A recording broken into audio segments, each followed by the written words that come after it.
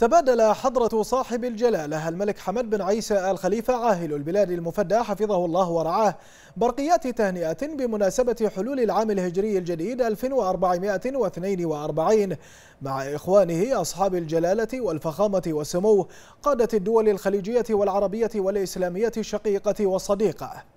وأعرب جلالة الملك المفدى يده الله ورعاه فيها عن أطيب تهانيه وخالص تمنياته لهم بموفور الصحة والسعادة. داعيا المولى عز وجل أن يعيد هذه المناسبة المباركة على بلدانهم وشعوبهم الشقيقة بوافر الخير واليمن والبركات وأن يحفظ الجميع من وباء كورونا ويرفع هذه الجائحة عن البشرية جمعاء لتعود الحياة إلى طبيعتها في أقرب وقت.